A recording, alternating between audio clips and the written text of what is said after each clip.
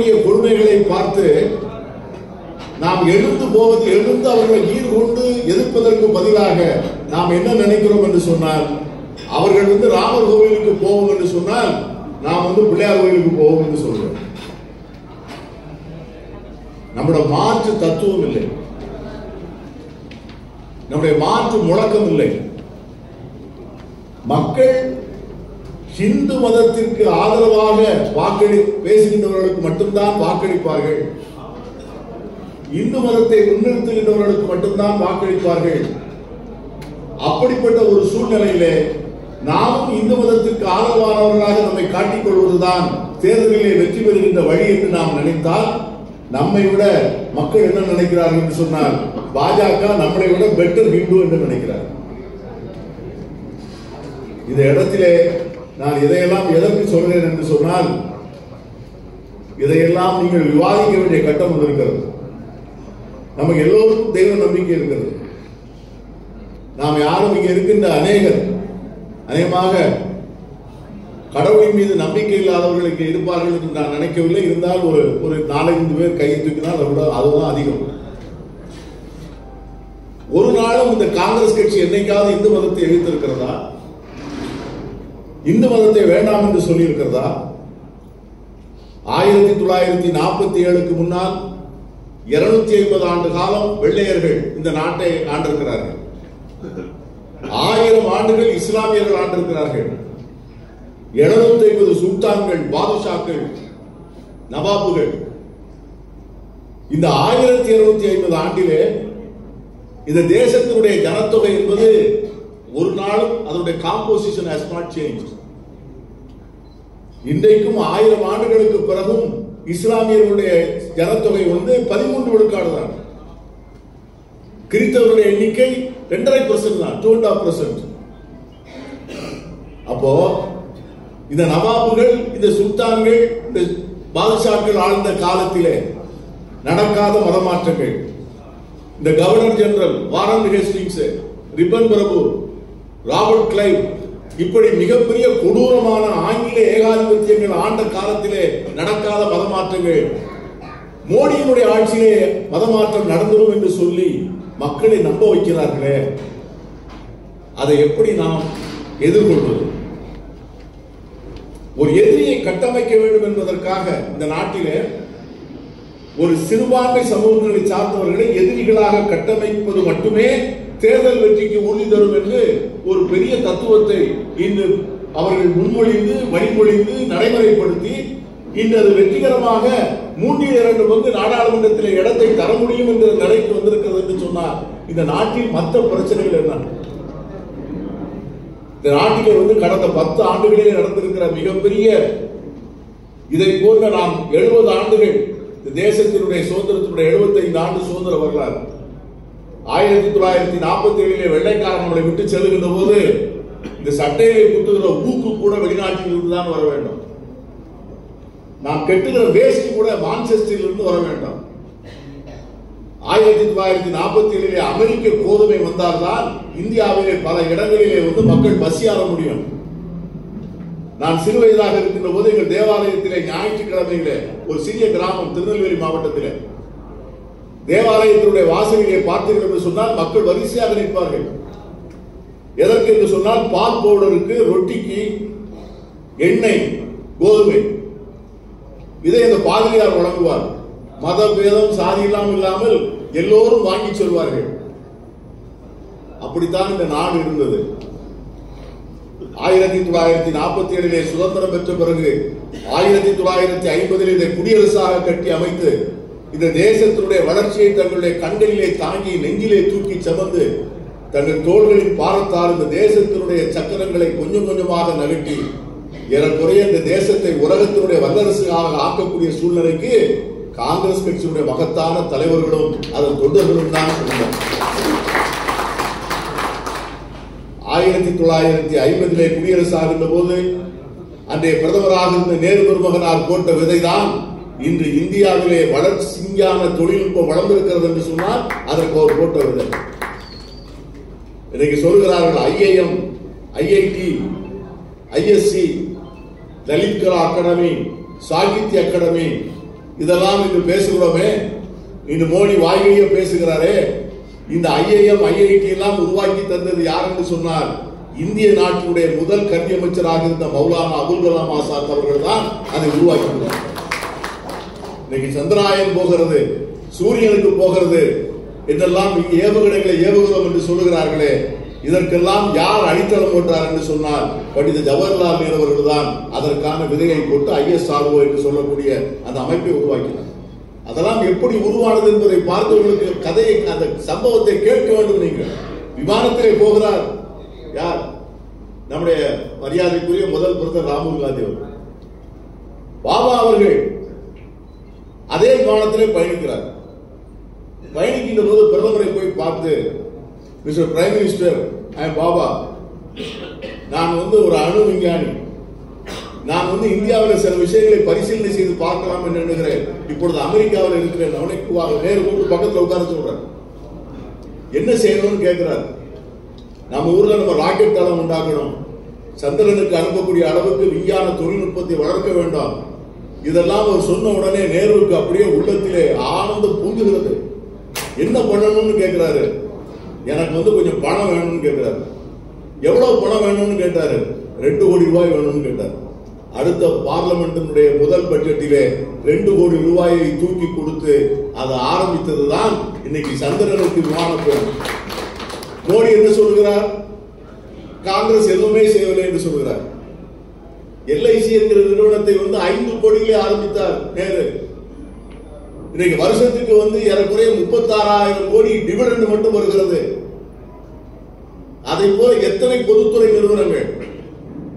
எல்ஐசியை போல நாட்டில் oil companies metal trading corporation state trading corporation ONGC இப்படி இவ்வளவு பெரிய தொழில் நிறுவனங்கள் விமானங்கள் பறப்பதற்கு ஏர் இந்தியா கப்பல்கள் போவதற்கு நிலக்கரியை வெட்டுவதற்கு கோல் இந்தியா. இதையெல்லாம் காங்கிரஸ் கட்சி துவங்கி வைத்ததின் காரணமாகத்தான் இந்த பொதுத்துறை நிறுவனங்கள் உருவாகும் இந்த பொதுத்துறை நிறுவனங்களில் இன்னொரு அட்வான்டேஜ் என்ன? அங்கெல்லாம் இடஒதுக்கீடும் இருந்தது. அங்கெல்லாம் இடஒதுக்கீடு இருந்தது. பட்டியலத்தை சார்ந்தவர்கள் பிற்படுத்தப்பட்ட வகுப்பை சார்ந்தவர்கள் சிறுபான்மை மக்கள் இவர்களெல்லாம் பொதுத்துறை நிறுவனங்களிலே வேலை பார்க்க முடியும் என்று இருந்தது. இன்னைக்கு நான் வந்து நிறைய தனி சகோதரர்கள் இருப்பார்கள் என்று எண்ணுகிறேன். தயவு செய்து வரலாற்றை திரும்ப பாருங்கள். பாபு ஜெகஜீவன் ராம் என்ற ஒரு காங்கிரஸ் அமைச்சர்களை என்று சொன்னால் இன்னைக்கு பொதுத்துறை நிறுவனங்களிலே இவ்வளவு தலித் மக்கள் வேலை பார்க்க முடியாது. பாபு ஜெகஜீவன் ராம். இப்படி ஒவ்வொரு தலைவரும் ஒவ்வொரு அமைச்சரும் உருவாக்கிய இந்த நாட்டை தான் அதற்காக நாம் எவ்வளவு பெரிய நிறுவனங்களை உருவாக்கினோம். இந்த தேசத்திலே நம்மோடு சோதனை பெற்றதுதான் பங்களா பாகிஸ்தான். நம்மளோடு சோதனை பெற்றதுதான் பர்மா. நம்மளோடு சோதனை பெற்றதுதான் ஸ்ரீலங்கா. நம்மோடு சோதனை பெற்றதுதான் பங்களாதேஷ். இந்த நாடுகளில் இன்னைக்கு நிலைமை என்ன? தேர்தல் எப்படி நடக்கிறது என்று பார்த்தீர்களா? பங்களாதேஷிலே வந்து எதிர்க்கட்சிகள் போட்டியிடவே இல்லை. எதிர்க்கட்சிகள் ஒட்டுமொத்தமாக தேர்தலை பகிஷ்கரித்து விட்டார்கள் புறக்கணித்து விட்டார்கள். ஏனென்றால் தேர்தல் ஆணையம் என்பது பிரதமருடைய கையில் இருக்கிறது ஷேக் ஹசீனாவுடைய கையில் இருக்கிறது. அவர் சொல்வதைத்தான் அந்த தேர்தல் ஆணையம் கேட்கும். தேர்தல் ஆணையத்தினுடைய சொல்வதை கேட்பதற்கு தேர்தல் ஆணையம் அதை எதிர்த்தால் அவர்களை அடக்குவதற்கு ராணுவம் இந்த இரண்டையும் அந்த அம்மையார் கையிலே வைத்துக் கொண்ட காரணத்தினால் எதிர்கட்சிகள் சொல்லிவிட்டார்கள் நாங்கள் தேர்தலில் போட்டியிடல பாகிஸ்தானில் இன்று என்ன நடக்கிறது? பாகிஸ்தானிலே இன்று இம்ரான் கான் என்ற மெயின் அப்போசிஷன் லீடர் அவர் இன்னும் இருபது ஆண்டுகளுக்கு தேர்தலிலே போட்டியிட முடியாது. அவருடைய கட்சியை வந்து தேர்தல் ஆணையம் அங்கீகரிப்பு அங்கீகரிக்க மறுத்து அதை வந்து நீக்கிவிட்டது. அவருடைய சின்னல் பேட் கிரிக்கெட் பேட் அதை முடக்கி விட்டது ஆகவே எதிர்கட்சியே கிடையாது. மியான்மரிலே தேர்தல் மூலம் வெற்றி பெற்ற இந்த ஆங் சூயி என்கிற அம்மையாரை இன்னைக்கு பாத்தீங்கன்னா இன்னும் பத்து வருஷங்கள் ஜெயிலில் இருக்கிறார் அம்மையார். ஜனநாயகத்தின் மூலம் வெற்றி பெற்றவர். இலங்கையிலே நடப்பதை நாம் பார்க்கிறோம். இலங்கையில என்ன பொருளாதார நிலை என்று பார்க்கிறோம். ஆனால் இது உயிருள்ள ஜனநாயகமாக. ஐந்து ஆண்டுகளுக்கு ஒருமுறை தேர்தல் நடக்கிற நாடாக தேர்தலின் போது அதிகார மாற்றங்கள் மிக சுமூகமாக நடக்கின்ற மாற்றமாக. இவற்றையெல்லாம் உருவாக்கி வைத்திருக்கிறோம் என்று சொன்னால் இதற்கு முழு பெருமையும் காங்கிரஸ் கட்சியும் காங்கிரஸ் கட்சி உருவாக்கி தந்த ஜனநாயக நிறுவனங்கள் தான் தேர்தல் சரியாக நடப்பதா என்று பார்ப்பதற்கு ஒரு தேர்தல் கமிஷன். இன்னைக்கு வந்து மனித உரிமைக்கு மனித உரிமை ஆணையம். இன்னைக்கு வந்து ஒரு உச்ச நீதிமன்றம் ஒரு உயர் நீதிமன்றம். உச்ச நீதிமன்றத்தில் இருக்கிற நீதிபதிகளுக்கு முழு சுதந்திரமாக எந்த விதமான எதிர்பார்ப்பும் அழுத்தமும் இன்றி வேலை பார்க்கக்கூடிய உரிமை இதையெல்லாம் காங்கிரஸ் கட்சி கொடுத்தது. இன்னைக்கு என்ன நடக்கிறது? இன்னைக்கு உச்ச நீதிமன்றத்தையும் உயர் நீதிமன்றத்தையும் பார்த்து நாம் எவ்வளவு தூரம் நாம் வந்து அங்கலாய்க்கிறோம் வருத்தப்படுகிறோம். நான் மட்டும் இல்லை நீதிமன்றத்துடைய முன்னாள் நீதிபதிகளே வருத்தப்படுகிறார்கள். மதன்லால் லோகூர் என்ற அந்த உச்ச நீதிமன்றத்துடைய முன்னாள் நீதிபதி அவர்கள் சொல்வதை பார்க்கின்ற போது அவர் என்ன சொல்கிறார்? உச்ச நீதிமன்ற நீதிபதிகள் என்ன செய்கிறார்கள் என்று கேட்கிறார்.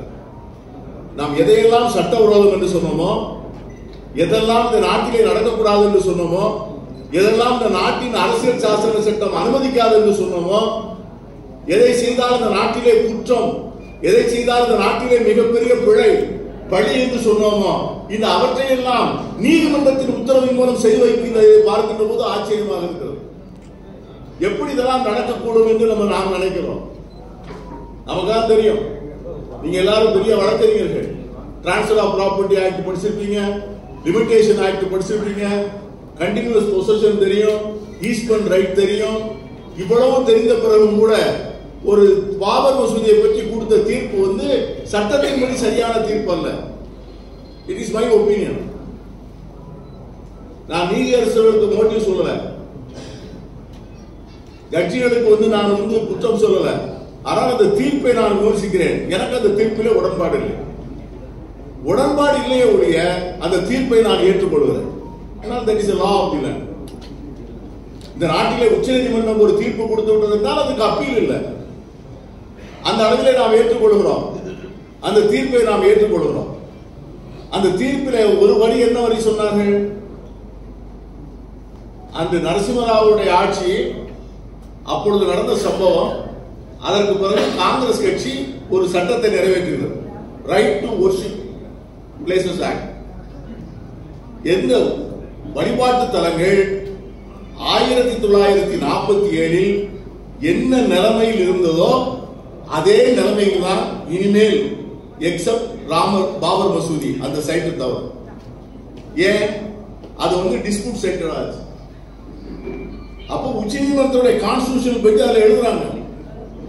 நீங்க என்ன செய்தாலும் இனிமேல் எந்த எந்த இடத்திலும் வழிபாட்டு தலங்களிலே இனிமேல் வந்து ஆயிரத்தி தொள்ளாயிரத்தி நாற்பத்தி ஏழுல என்ன நிலைமை இருந்ததோ அந்த நிலைமை தான் இந்தியா முழுவதும். அது எந்த வழிபாட்டு தலமாக இருந்தாலும் சரிதான் அப்படி என்கிற சட்டத்தை நிறைவேற்றி பாபர் மசூதி வழக்கிலே உச்சநீதிமன்றம் தீர்ப்பு சொல்லுகின்ற போது என்ன சொல்லுகிறார்கள்? அந்த சட்டத்தை சுட்டிக்காட்டி வழிபாட்டு தலங்களுக்கு கொடுத்திருக்கிற பாதுகாப்பை சுட்டிக்காட்டி இதை வந்து அடிப்படை உரிமைகள் போல அந்த சட்டத்தை நீங்கள் பார்க்க வேண்டும் என்று சொல்லுகிறார். இதே தீர்ப்பு. எந்த தீர்ப்பு? இது ராமர் கோவில் கட்டுகிற இடத்திலே அந்த இடத்தை ராமர் கோவிலுடைய அந்த அறங்காவலர்களுக்கு வழங்கியதோ அதே கிட்னிலே சொல்லப்படுகின்ற வார்த்தை என்னவென்று சொன்னால் இந்த right to worship protection of worshipping places ஆக்ட்ல இருக்கக்கூடிய உரிமைகள் வந்து ஃபண்டமெண்டல் ரைட்ஸ் போல புனிதமானது யாராலும் அழிக்க முடியாதுன்னு சொல்லுது. எது சொல்ல உச்ச நீதிமன்றம். இன்னைக்கு என்ன நடக்கிறது? நேற்று ஒரு டிசிஷன் போடுறாரு ஒரு ஆளு. ஞானவாபி பள்ளியில் பள்ளிவாசல்ல போய் நீங்க உடனே போய் தொழுது நடத்துங்கன்னு சொல்றாரு. இந்த தேசத்திலே வந்து இந்த சட்டம் ஹைகோர்ட் போடுறாங்க அவங்க. உச்ச நீதிமன்றத்துக்கு போடுறாங்க அவங்க. உச்ச நீதிமன்றம் என்ன சொல்லுது உச்ச நீதிமன்றம். நீ ஏன் இங்க வந்த? உடனே ஹைகோர்ட்டுக்கு போகணும்னு சொல்லுது ஹைகோர்ட்ல போய் சொன்ன என்ன சொன்னாங்க? ஹைகோர்ட்ல போன உடனே அட்மிட்டட் நோட்டீஸ் அவ்வளவுதான். சண்டிகார்ல மேயர் எலெக்ஷன் நடக்குது. ஆம் ஆத்மி கட்சியும் காங்கிரஸும் கூட்டணி. ஆம் ஆத்மியில பதிமூணு ஓட்டு இருக்கு. காங்கிரஸ் கட்சியில ஏழு ஓட்டு இருக்கு. இருபது ஓட்டு. பிஜேபி வந்து பதினாலு ஓட்டு. இந்த பதினாலு ஓட்டும் எலெக்ஷனுக்கு போறோம் நம்ம இருபது ஓட்டை போட்டாச்சு. பாஜக வந்து பதிமூணு ஓட்டு போட்டாச்சு. தேர்தல் அதிகாரி வந்து எண்றார் எண்ணிட்டு முதல்ல எடுத்து ஒவ்வொரு ஓட்லயும் ஏதோ கிழிச்சு எழுதிட்டு எட்டு ஓட்டு இன்வாலிட்னு சொல்லி போட்டுட்டு பாஜக மேயர் டிக்ளேர்ட் எலெக்ஷன் இதெல்லாம் வந்து பாராளுமன்ற தேர்தல் எப்படி நடக்கும் என்பதற்கு முன்னோட்டம். இது வந்து கேமராவில் கவர்ட் இந்த அந்த அதிகாரி வந்து அந்த எட்டு ஓட்டுகளை செல்லாத ஓட்டுகளை வந்து செல்லாத ஓட்டுகளாக அவர் ஆக்குவதை வந்து கேமரா வந்து அப்படி எடுத்திருக்குது. கால் நைட்ல எல்லா வீடியோலையும் வருது எல்லா டிவிலையும் வருது. மறுநாள் காலையில உயர்நீதிமன்றத்தில் போய் முறையிட்டால் உயர் நீதிமன்றம் என்ன சொல்லுகிறது? அந்த அந்த தேர்தலை நீங்க வந்து ஸ்டே பண்ணுங்க அப்படின்னு கேட்டா உயர்நீதிமன்ற நீதிபதி என்ன சொல்றாருன்னா அதெல்லாம் அப்படிலாம் பண்ண முடியாது. அட்மிட்டட் நோட்டீஸ்ங்கிறார் நோட்டீஸ் வச்சு எத்தனை நாள் கழிச்சு வரும் நோட்டீஸ் நீ ஸ்டேட்மெண்ட் எப்போ போடுவீங்க? அது வரைக்கும் வந்து மேயர் யார் நடத்துவா? இந்த அதிகாரி அறிவித்த மூன்றாவது செகண்ட்ல வெளியே காத்திருந்த பாஜகவினர் உள்ளே ஓடியாந்து மேயர் நாற்காலில் வந்து உட்கார வச்சிட்டாங்க. இது எல்லாமே முன்னாலே தெரிகிறது.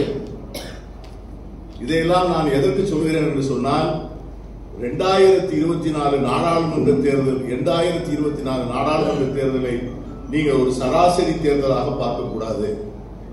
ஐந்து ஆண்டுகளுக்கு ஒரு முறை பார்க்கின்ற தேர்தலாக நீங்கள் பார்க்கக்கூடாது நான் இன்னும் ஒருபடி அதிகமாக சொல்லுவேன். ரெண்டாயிரத்தி இருபத்தி நாலு நாடாளுமன்ற தேர்தலிலே நாம் பயந்த நாம் பயப்படுகிறபடி ஒருவேளை இதே அரசாங்கம் மீண்டும் வெற்றி பெற்றால் என் அருமை நண்பர்களே மற்றவர்களுடைய நிலை எப்படி எனக்கு தெரியாது. ஆனா அவங்க வக்கீல் ஒருத்தருக்கும் வேலை இருக்காது. நிச்சயமா வேலை இருக்காது. எங்கே சட்டத்தின் ஆட்சி நடக்கிறதோ அங்கேதான் வழக்கறிஞருக்கு வேலை. சட்டத்தின் ஆட்சி இல்லாமல் அவர்கள் நினைக்கின்ற அந்த சட்டத்தை எங்க போய் போய் எத்தனை பேருக்கு நீங்க தெரியும்? நான் கேட்கிறேன் மூணு ஆக்ட் பாஸ் பண்ணிருக்காங்க. ஒரு கிரிமினல் ஒரு ஐபிசிக்கு பதிலாக ஒரு ஆக்ட் பண்ணிருக்காங்க. எவிடன்ஸ் ஆக்டுக்கு பதிலாக ஒரு ஆக்ட் பண்ணிருக்காங்க. கிரிமினல் ப்ரொசீஜருக்கு கூட பதிலாக ஒரு ஆக்ட் பண்ணிருக்காங்க. அந்த ஆக்ட் பேரை யாராவது சொல்லுங்க. ப்ளீஸ் அது என்னது? அதான் ஐபிசி கிரிமினல் ப்ரொசீஜர் கோடுக்கு ಭಾರತೀಯ ஆ, ಅನುಷ್ಠಾ ஆ. ಸಂಗೀತ ಸಂಗೀತ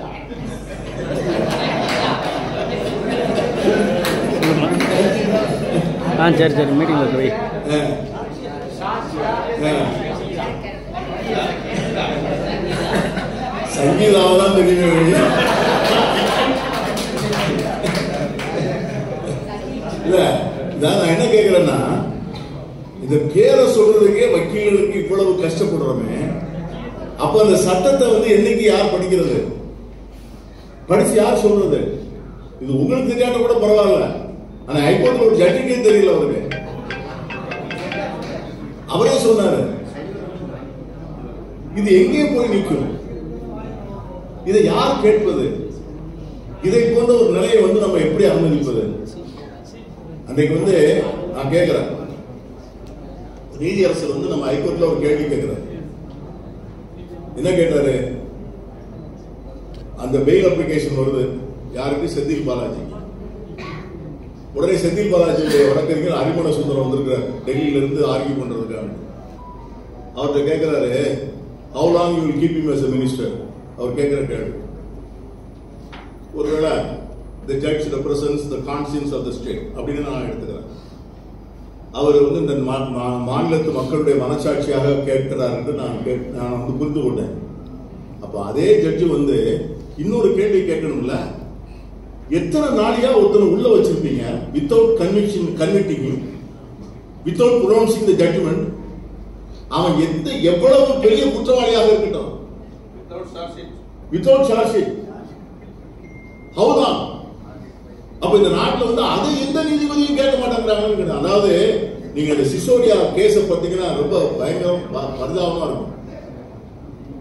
His wife is battling for life advanced cancer அந்த டெப்டி சீஃப் மினிஸ்டர் அவர் அவர் வந்து கோர்ட்ல போய் இ வாஸ் பெக்கிங் ஆக்சுவலி எனக்கு வந்து கிவ் மீ ஒரு 15 days time to remain with my wife in the last times in days அதுதான் நிச்சயமா வந்து பாத்தீங்கன்னா இந்த கணவன் மனைவி உறவு உறவுல இந்த மனைவி வந்து கடைசி காலத்துக்குள்ள மனது எப்படி இருக்குங்கிற உணர்வை வந்து அனுபவித்து பார்த்தவங்களுக்கு தான் தெரியும். நான் ஐ கான் அந்த லாஸ்ட் டேஸ் அதுக்கு பதினஞ்சு நாள் கொடுக்கல. ஸ்டான்ஸ் பாதிரியார்னு ஒரு எண்பத்தைந்து வயது பாதிரியார். அவர் ஒரு லால்குடிக்காரர் திருச்சியில.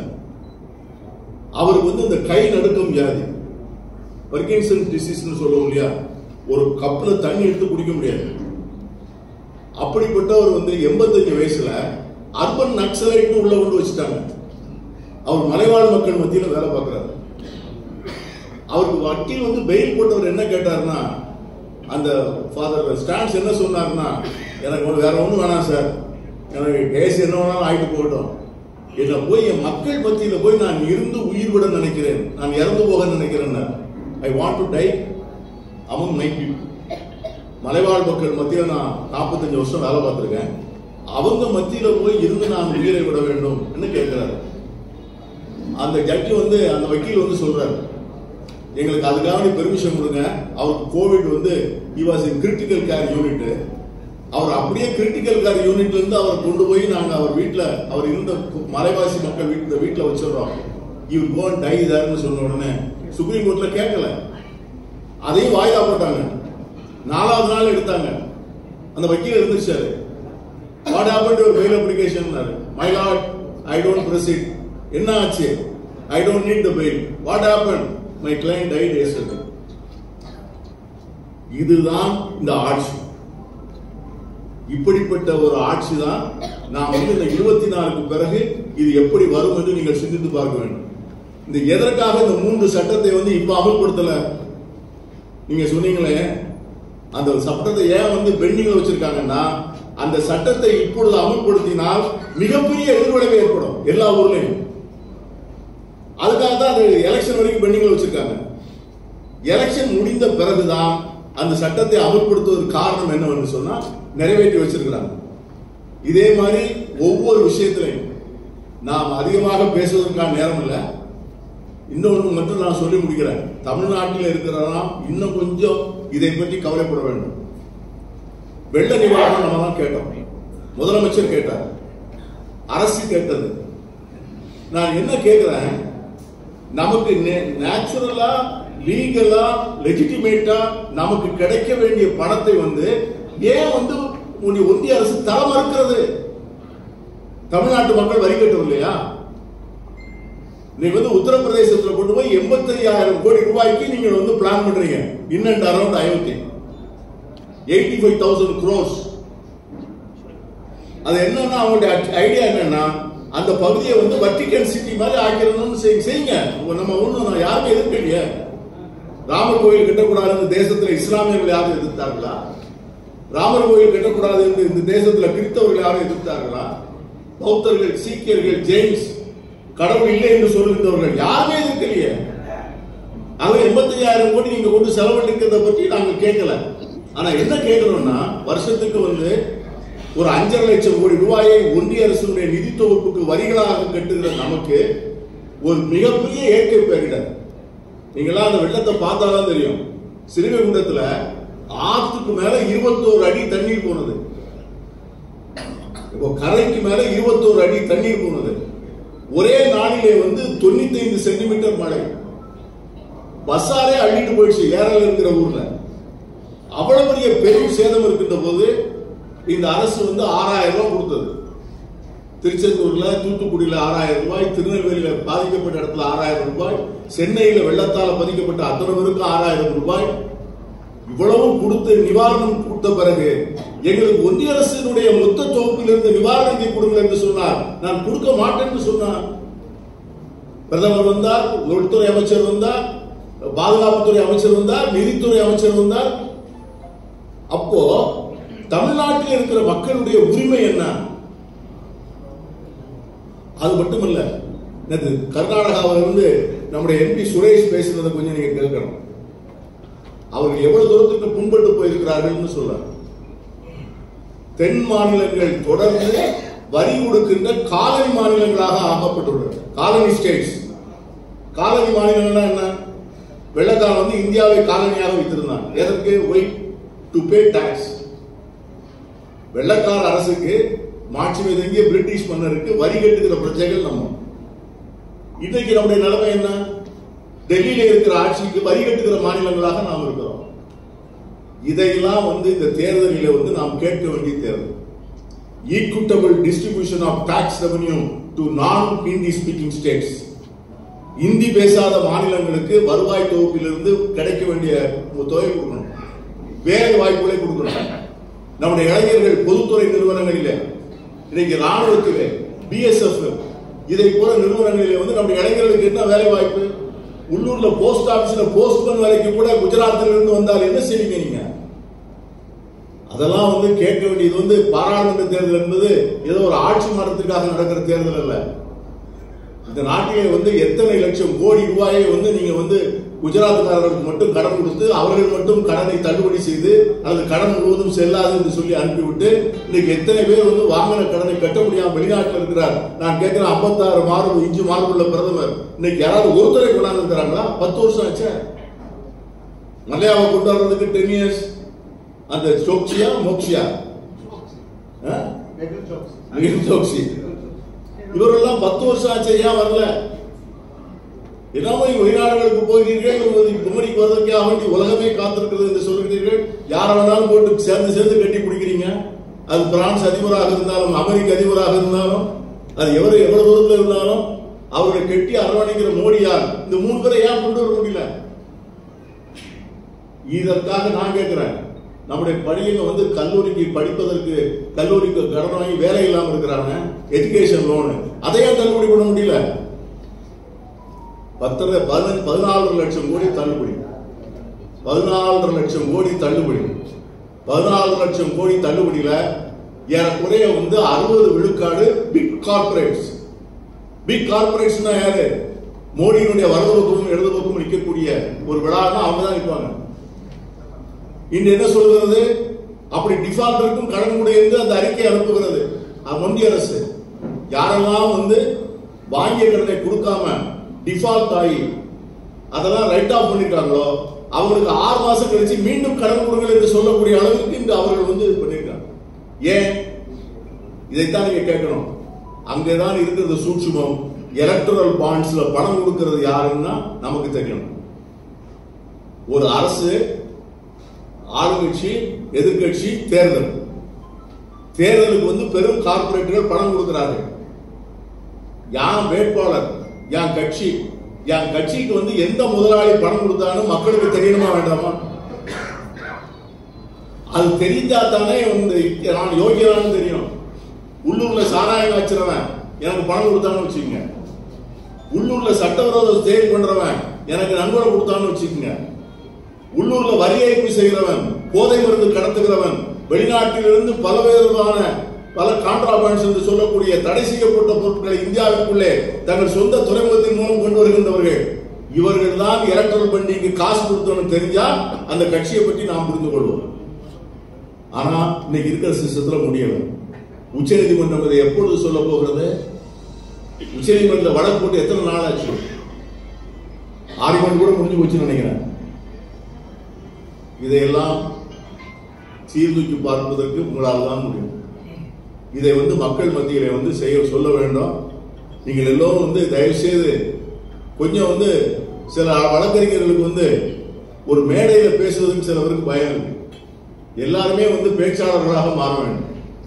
ஒவ்வொருத்தரும் ஒரு பொதுக்கூட்டம் பேசணும் ஊர்களில் பேசணும். வரக்கூடிய நாடாளுமன்ற தேர்தலில் யாரோ எட்டு பேர் ஒன்பது பேர் ஜெயிக்க போறாங்க. அது ஒரு விஷயம். அவங்க போகட்டும் நாடாளுமன்றத்துக்கு போட்டோம் அது யாராக இருக்கட்டும் நாங்களும் தம்பி சந்திரமோகனையும் கூட அனுப்பலாம்னு நான் நினைக்கிறேன்.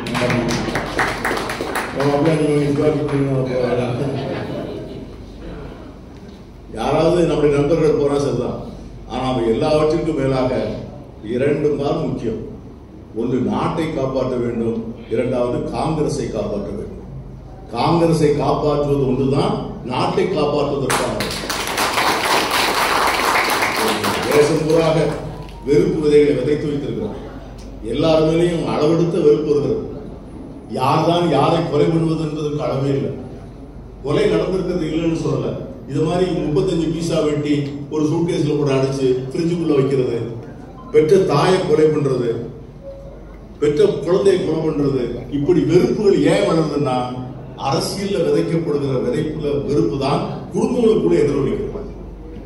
இதற்கு ஒரே மாற்று தலைவர் ராகுல் காந்தி கையில் எடுத்திருக்கிற அந்த அன்பு தோழமை நட்பு என்கிற அரசியல் தான். எல்லோரையும் உள்ளடக்கிற அரசியல் அதற்காகத்தான் அவர் காலால் அளக்கிறார் இந்தியாவை. அந்த நடைபயணம் பெருப்பையும் பயன் தர வேண்டும் என்று நாம் எதிர்பார்க்கிறோம். வரக்கூடிய தேர்தல் என்பது நம்முடைய எதிர்காலத்தை மட்டுமல்ல இந்தியா இருக்குவதா வேண்டாமா? ஜனநாயகம் இருப்பதா வேண்டாமா? சமூக நீதி இருப்பதா வேண்டாமா? மாநில உரிமைகள் இருப்பதா வேண்டாமா? தனிமனித உரிமைகள் இருப்பதா வேண்டாமா? மத நல்லிணக்கம் இருப்பதா வேண்டாமா? சாதி ஒடுக்கம் வேண்டுமா வேண்டாமா? இதை போன்ற கேள்விகளுக்கு எல்லாம் பதில் சொல்கின்ற தேர்தலாக இந்த தேர்தல் அமையும். அந்த தேர்தலிலே நம்முடைய கூட்டணிக்கும் காங்கிரஸ் பெரிய இயக்கத்திற்கும் வெற்றி தேர நீங்கள் எல்லோரும் உழைக்க வேண்டும் என்று கேட்டு இந்த அருமையான பயிலரங்கத்தை ஏற்பாடு செய்த தமிழ்நாடு காங்கிரஸ் வழக்கறிஞர் பிரிவு அணியினரை நெஞ்சார மனமாற பாராட்டுகிறேன்.